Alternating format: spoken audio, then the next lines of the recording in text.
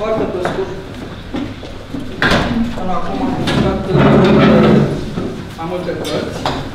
Uh, aceasta ar fi a opta pe care am publicat-o, mai întâi despre Părintele Făgețanu și Rugul Aprins. Uh, acum șase ani, fața nevăzută a homosexualității, împreună cu Virgiliu Gheorghe. Uh, două ediții din Corectitudine politică, o ideologie neomarxistă. Părintele Galeriu astăzi, tabăra de la Oașa, o variațiune pe domnul Borges, asta este versiunea, și anul trecut vocația pascală a creației, studii teologice de Părintele Constantin Galeriu, volum pe care l-am îngrijit, deci l-am editat. Și uh, cartea despre care voi vorbi astăzi, tema pe care am uh, anunțat-o este Teologia ortodoxă a religiilor, modelul mărturisitor exclusivist empatic.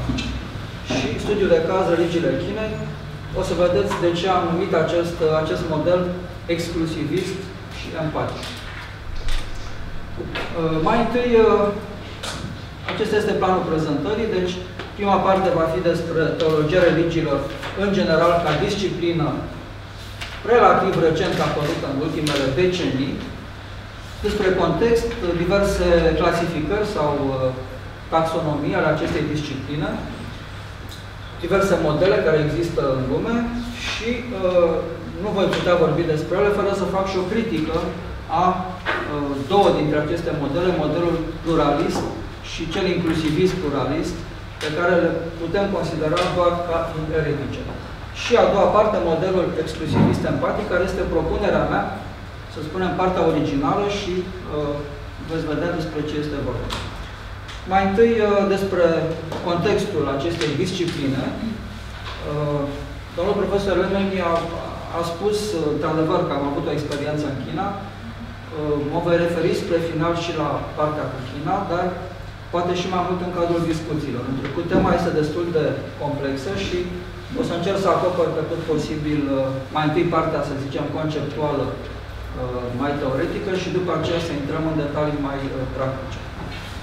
Cum am ajuns la, acest, la această temă? Uh, am plecat de la uh, Părintele Ieromonah Damaschin Christensen, pe care îl cunoașteți cu toții, a scris uh, viața și lucrările Părintelui Serafim Rose. Uh, Părintele Rose a fost uh, și sinolog, înainte de a fi ieromonah, știți foarte bine, a fost uh, sinolog, l-a pasionat uh, studiul Chinei și Părintele Serafim Rose, în tinerețe, când era Eugene Rose, uh, a făcut un masterat, iată aici prima pagină acestei lucrări de masterat al lui Serafim Rose, uh, disciplin în uh, Tao Te Ching al lui Lao Tzu. Știți lucrarea fundamentală a taoismului și Părintele Serafim Rose a analizat Tao Te Ching dintr-o perspectivă foarte interesantă. Teza lui există, dar nu s-a tradus la noi. E bine, Părintele Damaschin Christensen, care a fost discipol și urmașul părintelui Serafim Roz la uh, Platina, California, a fost și el sinolog. Și a scris și o carte numită Christ the Eternal Tao, Părintele Christensen. Părintele Damaschin, uh, în acest tratat, de la care spuneam că am pornit inițial când am abordat această temă în acel volum, interpretează în această carte, deci uh, Damaschin Christensen, taoismul chinez pe temeiul învățătorii patristice și al Bisericii Ortodoxe, argumentând că în Antichitate uh, China era monoteistă, avea o religie monoteistă. Și uh, evitând capcanele sincretismului și ale, uh, să zicem, compromisurilor de ordin dogmatic, Părintele Christensen demonstrează că sensurile lui Tao, scris cu T aici Tao sau Tao, Tao e același lucru, se suprapuneau perfect sensurilor logosului logosului, logosului creștin. Uh, eu am aceeași abordare. Uh, cartea aceasta mi-e tradusă, eu am tradus trei capitole din ea și am publicat cele trei capitole în revista Altarul Reîntregirii din uh, Alba Iulia, în 4 sau 5 ani. N-am putut să o traduc pe toate pentru că am vorbit cu editura Sofia, care a scris Părintelui Christensen, care a răspuns că nu-i de acord cu publicarea cărții, întrucât se teme ca nu cumva într-o țară ortodoxă cum e România, să fie înțeleasă uh, greșit, în sens sincretist, uh, ceea ce nu este. cartea nu este niciun caz sincretistă, dar uh, el a spus că targetul lui, ținta lui, este în special China, sunt chinezii, sau cei care sunt atrași de religiile orientale, de cele chineze în special, și pe care vrea să-i convertească la ortodoxie și nu se adresează unei țări ortodoxe, cum suntem noi, și de aceea a spus că doar dacă un uh, era ar da o binecuvântare, ar fi de acord cu publicarea traducerea acestui volum. Uh, oricum, uh, eu am aceeași abordare în această carte, ca și uh, Părintele Christensen, dar îl plasez pe, uh, pe el într-o tradiție mult mai veche de sinologi misionari creștini, care au fost în China secole de rândul, punând însă accentul aici pe religia confucianistă și nu pe cea taoistă. Deci dacă Christos se vorbește de taoism, eu am vorbit aici mai mult de confucianism. Sunt religii diferite, deși chineze amândouă, și uh, m-am uh, interesat în special confucianismul. Și o să vă spun mai târziu de ce. Uh, în esență, și uh, acești misionari creștini, de ce mi-ați uh, au uh, considerat că confucianismul este o religie care uh, e compatibilă cu creștinismul și ei pot construi pe confucianism o strategie de convertire a chinezilor. Pe confucianism, în primul rând, și nu pe taoism. Este foarte interesant că ei au preferat această abordare. Cartea are un subtitlu, Religiile Chine și Creștinismul, o incursiune interculturală, istorică și hermeneutică, premisa fiind că, și aici, dacă vreți, este esența întregii prezentări de azi, și în alte religii s-au păstrat unele adevăruri din revelația divină primordială, adamică, uh, sâmburi sau vestigii din această descoperire originară pe care Dumnezeu a dat-o lui Adam și Eva, protopărinților omenirii, care au păstrat aceste vestigii, aceste, să zicem, învățături originale din revelația primordială și după cădere. Și de aceea este interesant să vedem în alte religii dacă putem identifica asemenea sâmburi sau vestigii din uh, această revelație primordială, luând ceea ce este valoros și uh, neluând ceea ce este uh, greșit. Dar uh, lipsesc lucrări care să analizeze aceste religii uh, din perspectivă ortodoxă. Există o întreagă literatură uh, pe plan mondial care încearcă să găsească aceste confluențe cu creștinismul, dar multe dintre ele sunt eretice și vom vedea imediat de ce. Așadar, uh, am spus teologia religiilor între mărturisire, Welt Ethos, care este conceptul de ethos global propus de Hans Küng, și sincretismul New Age, care merge la extrem cu, această, cu acest ecumenism, vom vedea imediat în sens foarte larg.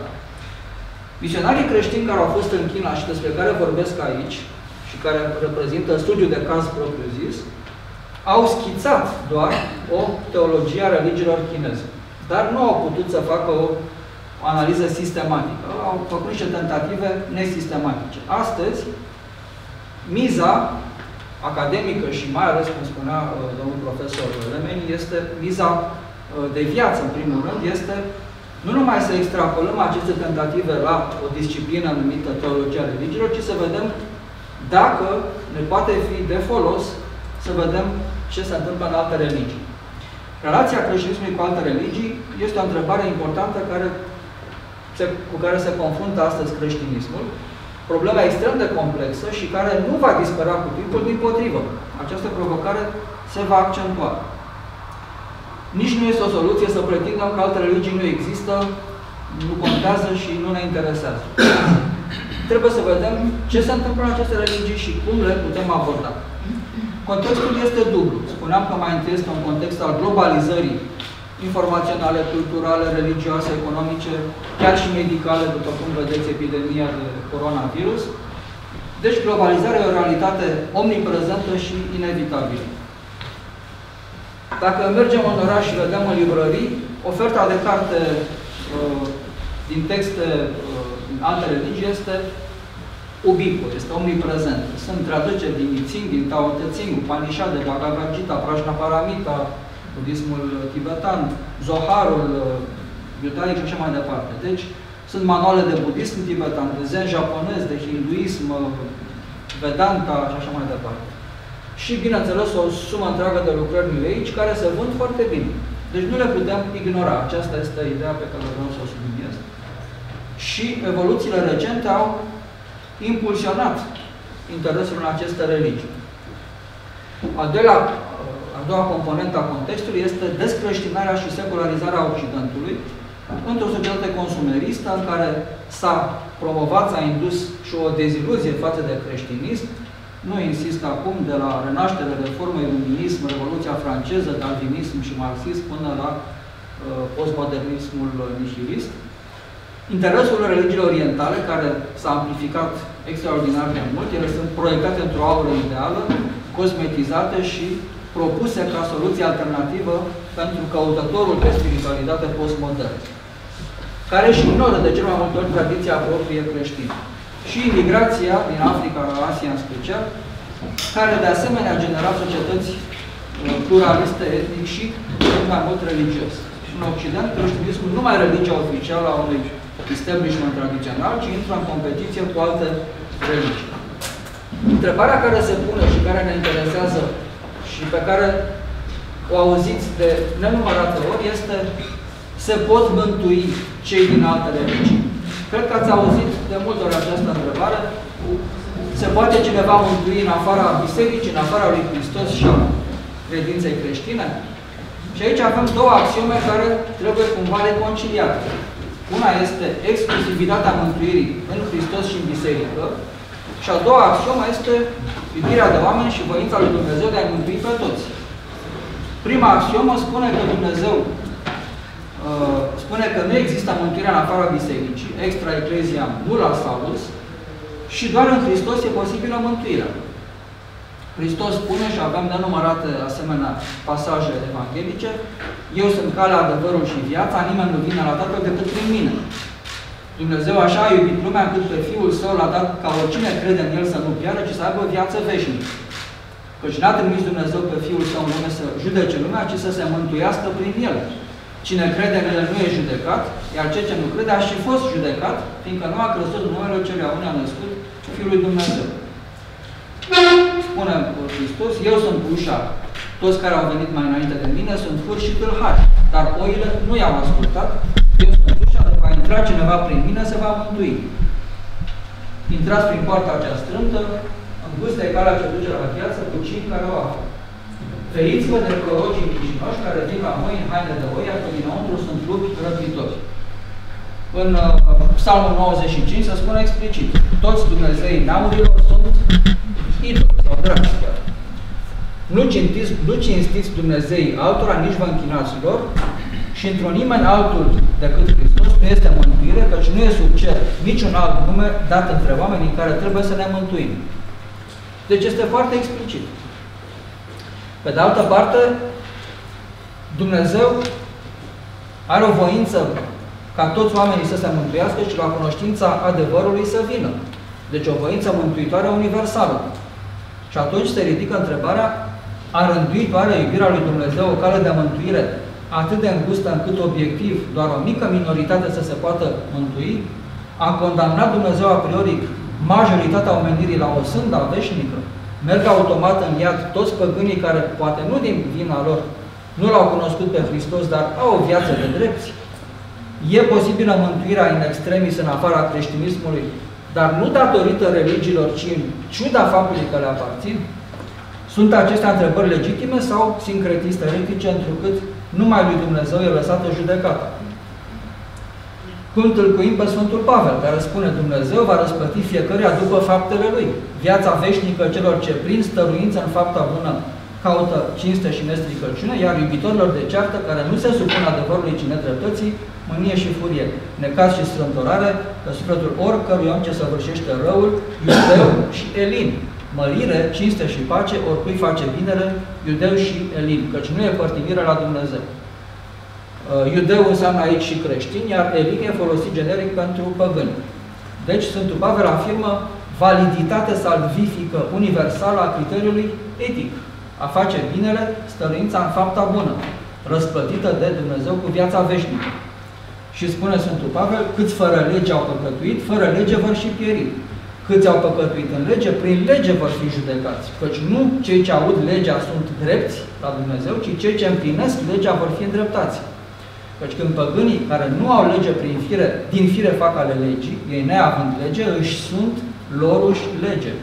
Ceea ce arată fapta legii scrisă în inimile lor, prin mărturia conștiințelor și judecățile lor care îi învinovățesc sau îi apără în ziua în care Dumnezeu va judeca prin Iisus Hristos cele ascunse ale oamenilor. Deci, spune Sfântul Pavel, săvârșirea păcatului o sândește și în afara legii pe păgâni și în lege, legea mozaică, apoi legea creștină. Împlinirea legii, spune, chiar fără cunoașterea ei, ci din fire, îi apără la judecată. Fapta legii scrisă în inima păgânului, întărită prin mărturia conștiinței și judecății lui, e criteriul după care Dumnezeu va judeca pe fiecare creștin ori necreștin după Evanghelie. Și concluzia lui este șocantă. Tăierea împrejur folosește dacă păzești legea, dar dacă ești călcător de lege, tăierea ta împrejur s-a făcut netăiere împrejur. Deci, de, dacă cel netăiat împrejur păzește hotărârile legii, netăierea lui împrejur nu va fi socotită oare ca tăiere împrejur, iar el, din fire, cel netăiat împrejur, dar împlinitor al legii, aici tăiat împrejur echivalează cu botezul. Nu te va judeca oare pe tine care prin litera legii și tăierea împrejur ești călcător de lege? Nu cel ce se arată pe din afară e iudeu sau creștin, nici ce a arătat pe din afară în trup nu e tăiere împrejur, respectiv botez, ci e iudeu sau creștin cel întru ascuns, iar tăierea împrejur e cea a inimii, în duh, nu în literă, a cărui laudă nu vine de la oameni, ci de la Dumnezeu. Deci este foarte uh, șocantă această concluzie a Sfântului Pavel. Deci cum abordăm relația noastră cu alte religii? Teologic, abordarea cea mai firească este această abordare pe care uh, o numim teologia religiilor. Ca disciplină, spuneam, constituită recent. Și există o întreagă literatură la nivel mondial în creștere pe subiectul teologiei religiilor. La noi, în facultățile de teologie ortodoxă, în învățământul teologic, relația cu alte religii nu se studiază ca teologia religiilor, ci ca ifere. Cine a făcut teologie știe că a învățat istoria și filozofia religiilor. E o disciplină care descrie diacronic evoluția istorică a ideilor și manifestărilor religioase, tendința fiind, cred că în învățământul teologic, uh, istoria și filozofia religiilor să fie completată de teologia religiilor. Există de mult comparatism religios, fiecare civilizație a reinterpretat religiile celor precedente. Grecii pe cele mesopotamiene și egiptene, romanii mitologia greacă, celtică, germanică, apologeții creștini, religiile păgâne și iudaismul. Clement Alexandrinul spunea ceva în acest sens, putem să sărim. În secolul XVII apare mitografia comparată, Max Müller, James Fraser, apoi George Dumézil. Mircea Iliade, pe care îl iubim fiindcă este al nostru, bineînțeles, propune o metodă comparativ-tipologică a istoriei religiilor. Homo symbolicus sau homo religiosus, insistând asupra coerenței simbolice a fenomenului religios, evidențiind aspectele fundamentale, hierofania, simbolul, experiența sacrului, sacralizarea spațiului și a timpului și a vieții umane.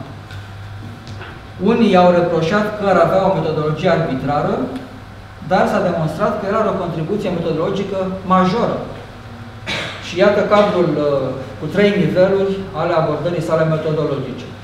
Deci această abordare triplă, istorică, fenomenologică și hermeneutică, iar a treia uh, componentă, cadrul hermeneutic, e format din două sisteme universale, unul al dialecticii sacrului și al profanului, și al doilea sistemul structurilor simbolice, simbolismul religios. Deci aceasta ar fi metodologia lui Eliade de istoria religiilor. Cum spuneam, eu o consider insuficientă și uh, mă interesează în special abordarea teologică pe care Eliade nu a avut-o, nici nu și-a propus să o aibă, și deci abordarea teologiei religiilor. Și trecând acum la această disciplină, vom vedea care sunt diversele clasificări ale acestei discipline. În funcție de cum răspunde fiecare model la aceste două axiome, mântuirea exclusivă în biserică și în Hristos, dar și voința mântuitoare universală a lui Dumnezeu, aceste modele merg de la nivelul numit exclusivist la un nivel, la un model numit pluralism. Există această clasificare tripartită și una quadripartită care nuanțează, dar de fapt este în final cam același, același model. Și uh, în acest tabel de pildă avem diversele modele propuse în, uh, pe plan mondial de diversi autori. În stânga avem coloana exclusivismului, care spune că alte religii sunt idolatrii și nu au niciun fel de bine și de adevăr, nici valoare mântuitoare. Urmează inclusivismul cu patru coloane de inclusivism, diverse grade de inclusivism sau să zicem de combinație între cele două modele și ultima coloană se numește pluralism, adică ultima coloană spune că toate religiile sunt căi de mântuire paralele și toți, uh, toate marile figuri religioase sunt mântuitori în egală măsură, ceea ce este, bineînțeles, eretic. Și între ele, diverse poziții intermediare între aceste extreme. Tot așa, uh, cum e privită revelația în uh, alte religii, de la varianta exclusivistă, să spunem, fundamentală, radicală, care spune că alte religii nu au nicio cunoaștere a lui Dumnezeu, până la varianta din dreapta extremă, care din potrivă spune că cunoașterea este uh, prezentă peste tot, în orice altă religie și nu Hristos e singurul Fiul al lui Dumnezeu sau singurul Mântuitor. Cum este privită, uh, de asemenea, uh, mântuirea în diversele religii, iarăși mergem de la exclusivism la uh, ultima coloană acestui liberalism extrem sau pluralist. Uh, și iată mai amănunțit care sunt paradigmele sau modelele acestei uh, discipline. Sigur că e o schemă euristică și ca orice demers taxonomic uh, sunt doar niște scheme generale. Modelul exclusivist. După cum am, am văzut, există un exclusivism radical sau al înlocuirii totale, care spune că o singură religie este adevărată, creștinismul, și nu e mântuirea în afara bisericii, extra ecclesia, nula salus. Unica religie absolută și adevărată în care mântuirea e posibilă este cea creștină. Nu e mântuire decât prin Hristos și nici mântuire în alte religii. Necreștinii se pot mântui doar prin convertire și botez. Punct. Doctrinele altor religii sunt eronate, nerevelate, singura învățătură revelată e cea creștină. Condiția pentru mântuire este credința și dăruirea de plin, angajamentul personal față de Hristos, Mântuitorul nostru. Necreștinii sunt păgâni, nu pot fi mântuiți cât timp nu recunosc pe Hristos ca Domn și Dumnezeu. Toate celelalte religii sunt idolatrii, iar zeii lor sunt demoni, învățătura lor fiind în conflict cu cea creștină. Avem varianta protestantă de exclusivism sau evanghelistă, în care Biblia, bineînțeles, e sola Scriptura, e singurul temei al cunoașterii și al mântuirii. Și uh, în ortodoxie și în, cat în catolicism există acest exclusivism care, pe lângă Biblie, pune accentul pe Sfânta Tradiție, pe Biserică, pe Sfintele Taine, rânduieli și participare la viața liturgică. Pentru noi ele sunt de nelăbuit, în absența lor mântuirea e de neconceput. Axioma emblematică este, în afara bisericii nu există mântuire. Alte religii, în cel mai bun caz, pot să conțină niște învățături sapiențiale, deci de înțelepciune, care pot ajuta pe creștini să aprecieze învățătura creștină, dar nu au valoare soteriologică, mântuitoare. La limită, celelalte nici nu sunt măcar religii. Știți acest uh, adevăr în sensul că doar creștinismul e religie în adevăratul sens ci sunt rătăciri ce duc în eroare sau chiar erezii și trebuie, deci, înlocuită complet de creștinism. Toate popoarele trebuie încreștinate, acesta a fost efortul uriaș misionar creștin, secole întregi, milioane de sfinți, de apostoli ai neamurilor, de misionari, de preoți, de călugări, au străbătut continentele într-o enormă cruciadă apostolică menită să lumineze, să convertească întreaga lume toți animați de convingerea că Dumnezeu vrea ca toate popoarele să se mântuiască și la cunoștința adevărului să vină.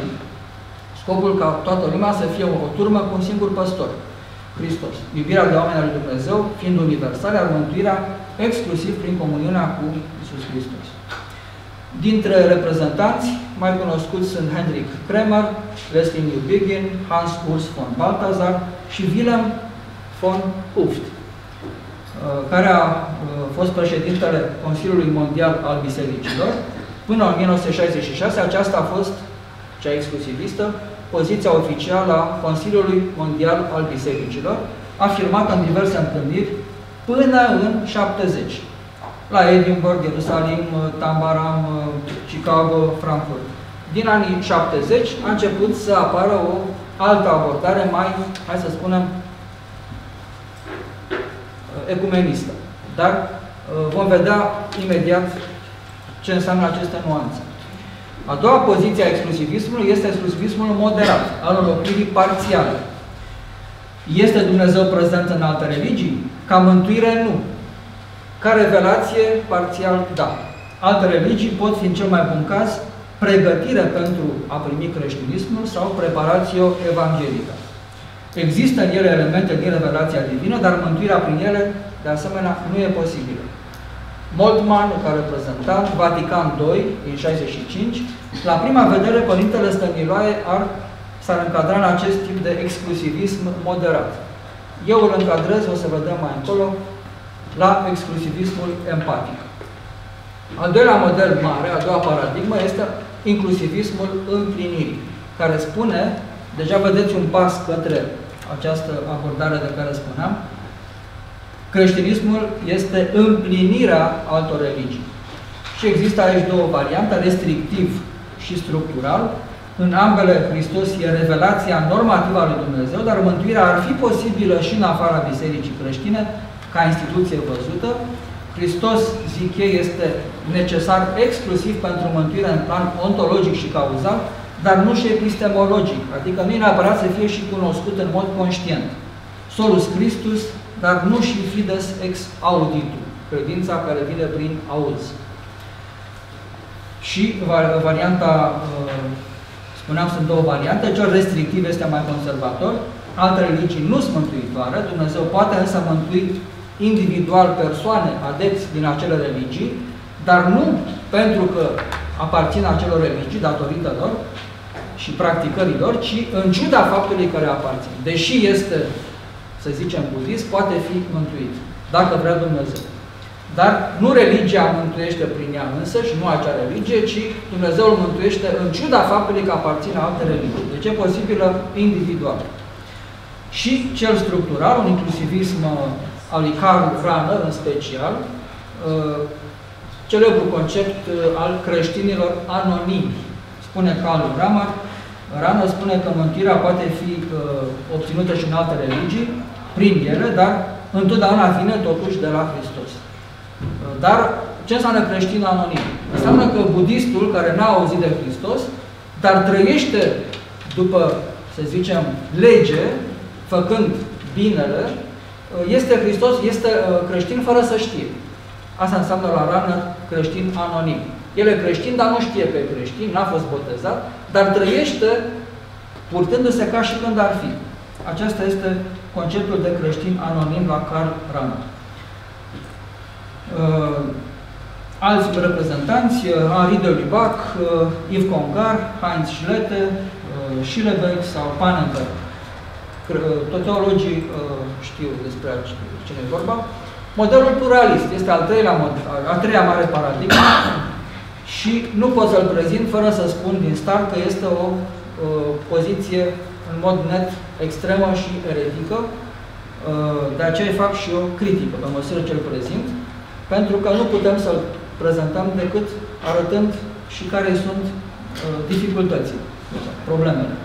În general, teologia religiilor ca disciplină este un câmp minat, adică este o, un câmp al unor controverse foarte aprige între diverse orientări, între cea ortodoxă în sens larg și cea ecumenistă în diverse grade, mergând până la variantele cele mai extreme. Critica pe care eu o fac e de pe poziții ortodoxe. Și avem aici un, un pluralism unitar, altul pluriform și altul așa numit etic, într-o clasificare. Acest pluralism unitar îl are ca reprezentant emblematic pe John Hick, care spune God has many names. Dumnezeu are multe nume. Și uh, el spune că omenirea nu putea fi condamnată la o sândă veșnică de un Dumnezeu iubitor, miliarde de păgâni care nu l-au cunoscut din vina lor, nu pot fi condamnați a priori la uh, o sândă veșnică. Uh, Hick înlocuiește uh, cristocentrismul cu un teocentrism de tip teist. Teismul, știți, e poziția lui Kant, este o poziție în care Dumnezeu nu este văzut personal, ci mult mai filozofic. Și, bineînțeles, incorrect uh, dogmatic vorbind. Uh, la început, Hick este teist, apoi nu e de ajuns că e teist, pentru că e acuzat că nu este suficient de uh, acomodant cu religiile non-teiste, budismul, hinduismul școlii Vedanta, și atunci merge mai departe la un pluralism transteist sau unitar, fundamentat pe un real noumenal ca la Immanuel Kant și uh, pe care îl numește unul etern, fiind o influență neoplatonică. Uh, este o erezie, cum spuneam, care contrazice dogma creștină, nu are temeiuri uh, doctrinare și revelaționale pentru etica lui, ci criterii de etică filozofică și sunt niște argumente de ce este eretic și uh, până la urmă de ce eșuează în agnosticism. Încercând să acomodeze toate religiile, până la urmă eșuează într-un uh, nimic, practic, într-un agnosticism uh, care, încercând să le acomodeze pe toate, nu mai acomodează niciuna. Deci nici măcar în termenii lui nu reușește să aibă un sistem coerent. Realitatea divină pe care o propune el e de tip supermarket, adică fiecare merge și își alege ce vrea din fiecare tradiție. Își, își alege fiecare câte o bucățică, o componentă și uh, adevărul uh, transcendent, metafizic, nu mai contează. Se numește esență comună, ceea ce încearcă să propună pentru toate religiile, un numitor comun, în esență nihilist. Pluralismul pluriform, care este și mai radical eretic, și avem aici pe Ramundo Panicar, unii poate dintre teologii au auzit de el, Vorbesc despre acești, acești teologi care sunt extrem de uh, prestigioși în Occident, în special la catolici, deci sunt personalități care au o mare vogă și uh, foarte admirați în Occident, deși, după cum spuneam, sunt eretici. Uh, atât cristologic cât și trinitari. Panicar spunea că este preot catolic, dar în același timp spunea că este și budist și hinduist. Deci, în același timp, toate trei. Uh, el evoluează sau involuează de la un uh, să zicem, un cristocentrism de tinerețe, când spunea încă în 64 că Logosul e revelat în Hristos și creștinismul este locul unde Hristos e de plin revelat, plenitudinea tuturor religiilor, pentru ca 15 ani mai târziu, în 81, să abandoneze cristocentrismul, să spună că atunci când dau numele lui Hristos legături între finit și infinit, deja este o poziție uh, mult mai abstractă, nu presupun identitatea lui cu Isus din Nazaret. Adică el rupe relația între Logosul etern și Logosul întrupat. Iisus era și Logosul întrupat, dar Hristos cel înviat nu e prezent neapărat peste tot unde acționează Logosul. O numește asta Hristo-idolatrie. Mântuirea, spune el, nu vine doar de la Hristos, cel istoric, ci și alte religii pot fi la fel de salvifice. Are o carte numită Iordanul, Tibrul și Gancele, în care spune că fiecare din aceste fluvii simbolizează o etapă în creștinism, Tibrul fiind etapa inițială primară, când uh, trebuia să fie exclusivist, apoi, uh, de Jordanul este perioada, perioada primară, Tibrul este perioada catolicismului, să zicem, imperial, care se extinde și când este inclusivist, și Gancele, spune el, impune azi trecerea la pluralism, adică deschiderea completă, totală către toate religiile. Uh, Aici el vorbește despre Sfânta Treime într-un mod de asemenea inacceptabil. Spune că Tatăl este una din căile pe care el o propune și care este o cale mistică de asceză sau apofatist. Fiul este devoțiunea personală, o cale a extazului iubirii și interpretează chenoza în termenii budismului, ca suniata și nirvana, și uh, Sfântul Duh îl vede ca Uh, mijlocitor asociat de el cu tradiția Shiva Shakti din uh, budismul și hinduismul tantric. El pretinde că s-ar afla dincolo de orice religie. Spune el că el privește creștinismul din afara religiilor, deasupra lor, adică își creează un esperanto religios creștino-hindu sau budist. Apartenență multiplă pe care o au și alții și spuneam că este radicalmente eretic. În sfârșit, a treia variantă, pluralismul etic, al lui Paul Knitter, care întreabă no other name, adică chiar nu există un alt nume în care să ne putem mântui, deci el pune sub semnul întrebării această, uh, acest pasaj biblic? Și uh, cade de asemenea într-un pluralism extrem, cu probleme foarte grave, acceptă și alte religii ca fiind în egală măsură inspirate de Dumnezeu. Și pune un accent etic și politic uh, de data aceasta, uh, în special pe componenta socială și etică. Deci, uh, el identifică împărăția cu, cu binele social și etic. Împărăția ar fi, o redefinește ca fiind dreptate socială, egalitate, pace, și uh, trebuie judecate alte religii doar după măsura în care promovează această etică socială. Atât. Pe care o asociază cu uh, lucrarea Duhului Sfânt și prin acest accent pneumatologic scurt circuitează sau levită pe Hristos și evitând cristocentrismul, evită esența învățăturii creștine. Și are și riscul de care a și fost acuzat că ar căzea în erezia, erezia pelagianistă. Știți erezia pelagiană, teologii, o altă clasificare, pluralismul inclusivist sau a reciprocității, care spune că sunt multe religii adevărate chemate la dialog și îmbogățire reciprocă, toate religiile sunt adevăruri parțiale, care au datoria să învețe unele de la altele.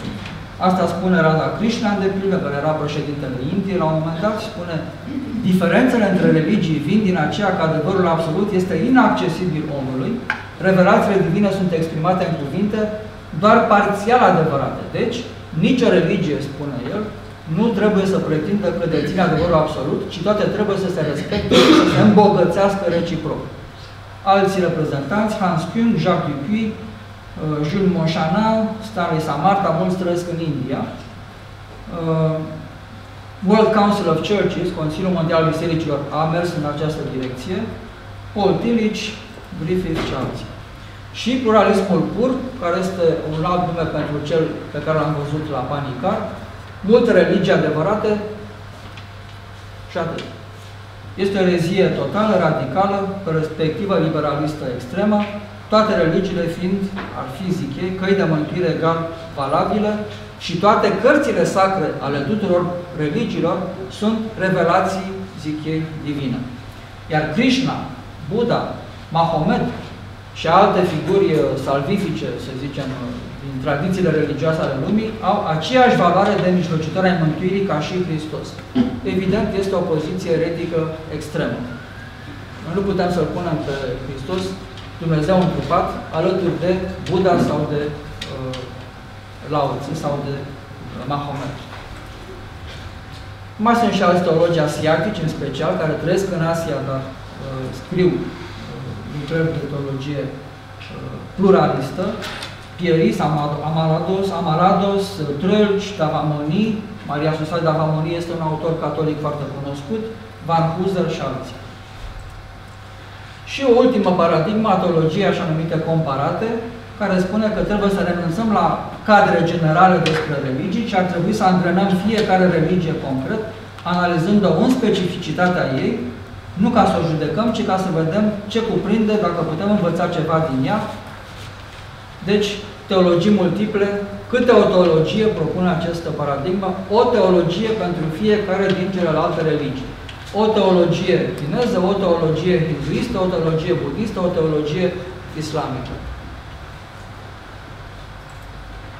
A doua parte a prezentării, care e mult mai scurtă și vom încheia, modelul pe care îl propun, exclusivismul empatic și spuneam că propun în completarea IFR-ului cu uh, istoria și teologia ortodoxă a religiilor.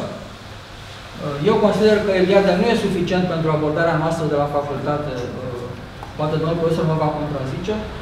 Uh, IFR-ul cred că în învățământul teologic nu ar fi chiar suficient și ar fi bine să adăugăm și o componentă de interpretare teologică a altor religii.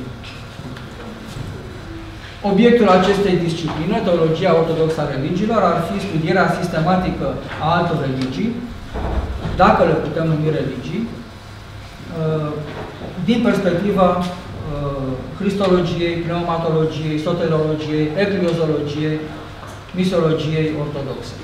Cele două principii, principiul ortodoxiei, fidelitate față de învățătura biblică și patristică și tradiția Bisericii Ortodoxe, evitarea compromisului dogmatic, liturgic sau moral, ortodoxia nu e o religie printre altele, ci păstrătoarea plinătății adevărului. Dar principiul al doilea al empatiei, să nu suprapunem forțat noțiuni creștine peste alte tradiții, ci să le înțelegem în specificul lor. Cele două poziții par uh, contrare și greu de reconciliat, dar cred că este posibil.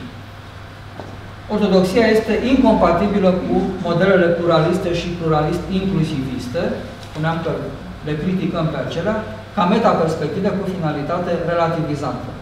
Ea nu este o cale către ecumenismul larg, nu e menită să deschidă drum către o unificare forțată a religiilor într-un conglomerat globalizant sincretist.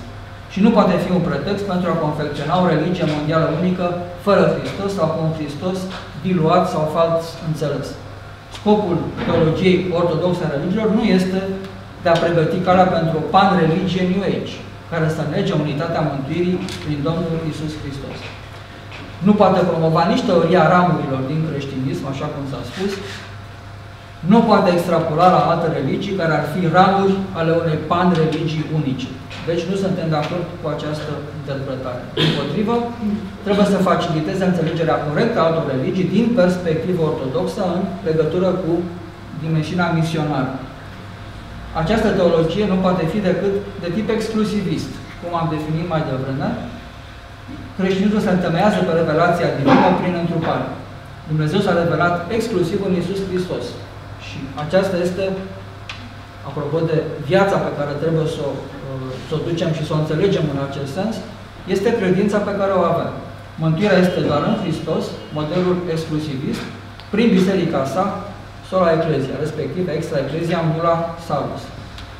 Acest exclusivist trebuie însă completat cu o variantă mai empatică.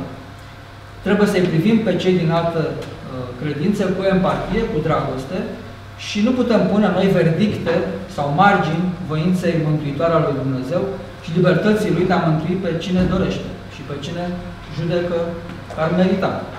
De aceea, modelul pe care îl Uh, susțin este accesul universal. Ce înseamnă accesul universal? Vom vedea imediat. Deci, posibilitatea ca Hristos să poate fi mărturisit și de credincioși altor religii. Avem aici uh, icoana coborârii la iad, în care Hristos îi scoate din iad pe Adam și Eva și pun o întrebare acum, uh, dacă există această posibilitate, așa cum s-a argumentat, ca Hristos să fi mântuit și pe toți cei din iad și să-i poată mântui și pe păgâni dacă îi consideră vrednici. Sfântul Clement al Alexandriei, în Stromata, citând păstorului Hermas, sugerează că și apostolii, imitându-L pe Hristos, au predicat și în Hades, în iad. Și spune Sfântul Clement al Alexandriei, apostolii și învățătorii care au predicat numele Fiului Dumnezeu, după ce au adormit în puterea și credința Fiului Dumnezeu, le-au predicat și celor ce adormiseră înaintea lor și le-au dat pe cetea predicării. Ei au coborât cu aceea și au ieșit din nou, întrucât prin ei aceia au fost înviați și au ajuns la cunoașterea de plină a numelui Fiului lui Dumnezeu. Numeam exclusivism empatic acest model, spunând că alte religii nu au valoare salvifică prin ele însele, căci conțin învățături heterodoxe și eretice. Spuneam chiar termenul religie problematic, întrucât, dacă le numim religie, le dăm implicit o, un statut egal cu creștinismul. Și, pentru cine știe, cu secole în urmă, de pildă, islamul sau iudaismul erau numite de creștinism erezii.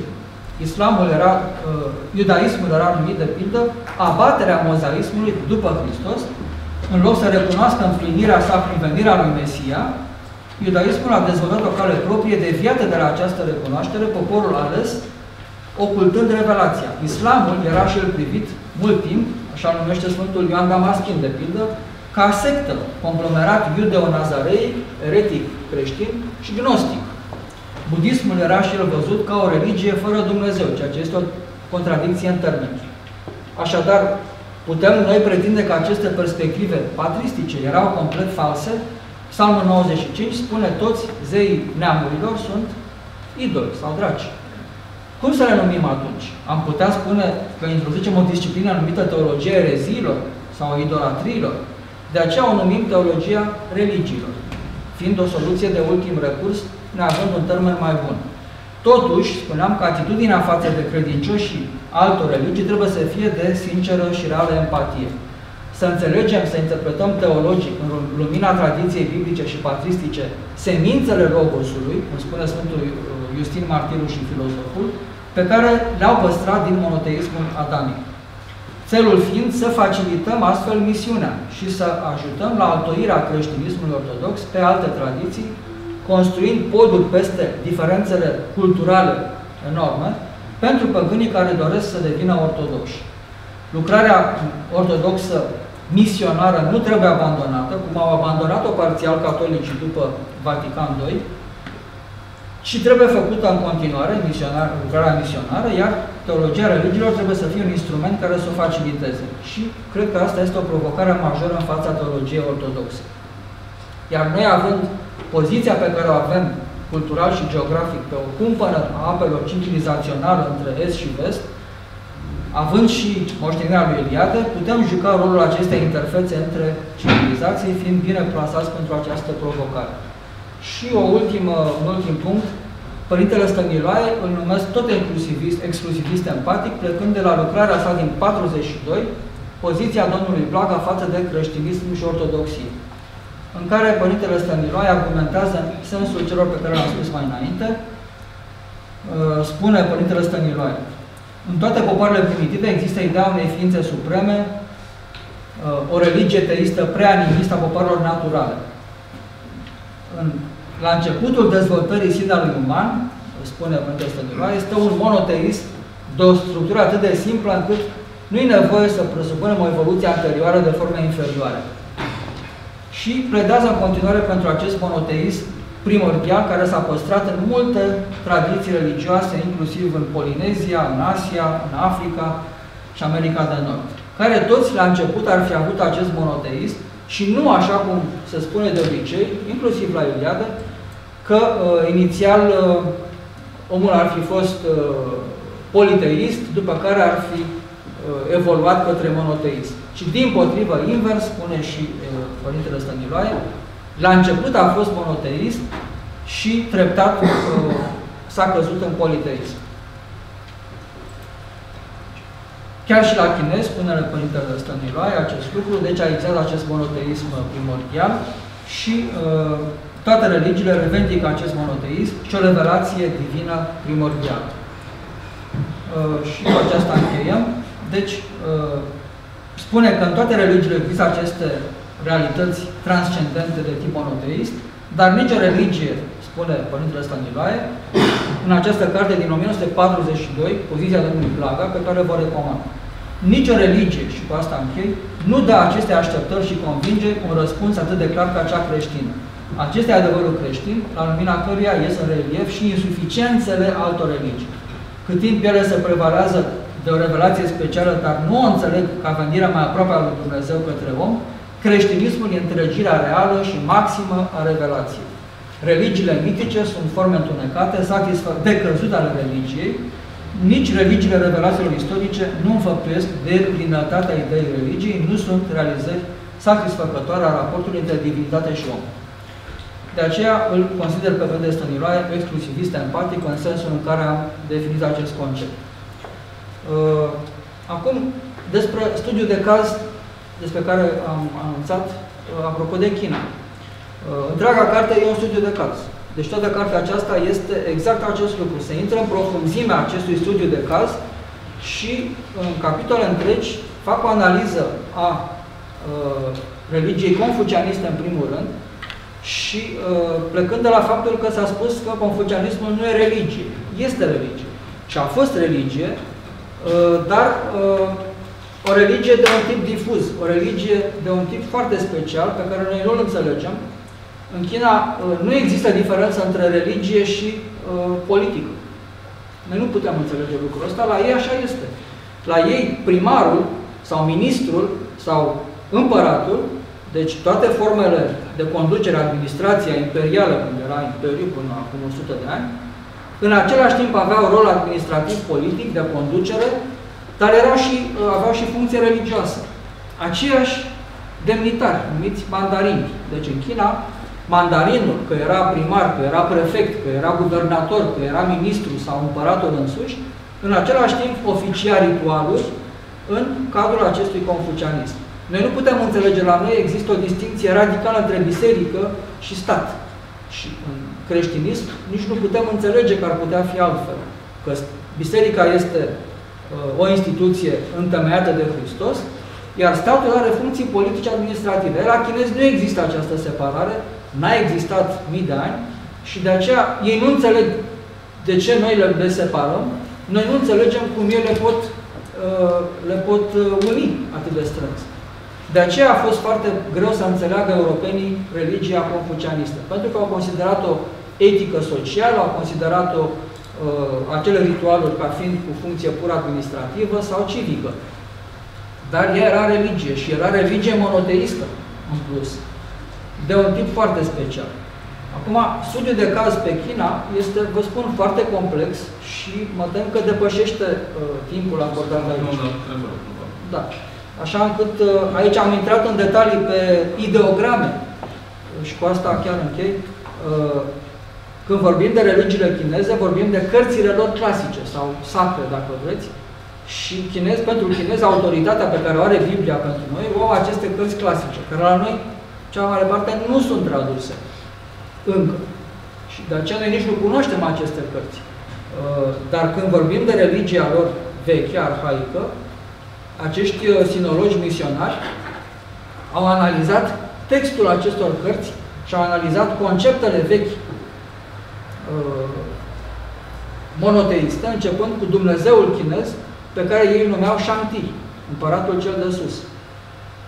Deci plecând chiar de la numele, de la cuvântul folosit pentru a numi pe Dumnezeu în chineză, deja avem o problemă.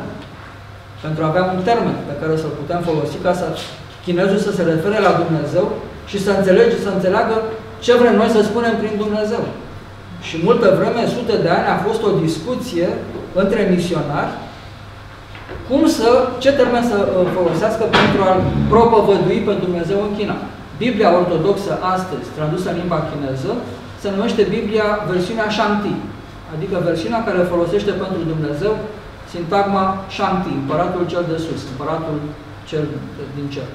Deci, uh, versiunea ortodoxă îl recunoaște ca termen pentru Dumnezeu pe Shanti. Această divinitate care există în textele clasice și căreia vechi împărați arhaici, vorbim de acum 3000 de ani, se rugau. O divinitate personală cu atributele uh, monoteiste personale pe care le avea Jehova în Vechiul Testament. Uh, și se face analiză pe ideogram, analiză de text foarte detaliată pentru a putea, în primul rând, să existe un limbaj comun cu chinezii. Deci este o mare problemă lingvistică atunci când vrem să le înțelegem religia și cu atât mai mult când vrem să-i convertim. Și cu asta ajung la această chestiune de astăzi. Părerea mea este că dacă vrem să avem o relație cu China, uh, soluția nu este războiul economic uh, sau războiul uh, biologic, după cum spun teorii că această epidemie de coronavirus ar fi una indusă artificial. Soluția este uh, un dialog cu ei pe acest teren al creștinismului și al vechilor tradiții, așa încât chinezii să înțeleagă convergența între vechea lor tradiție monoteistă și creștinismul care li se propune și să, uh, să ajungă să se convertească înțelegând că de fapt Dumnezeu este același pentru toți.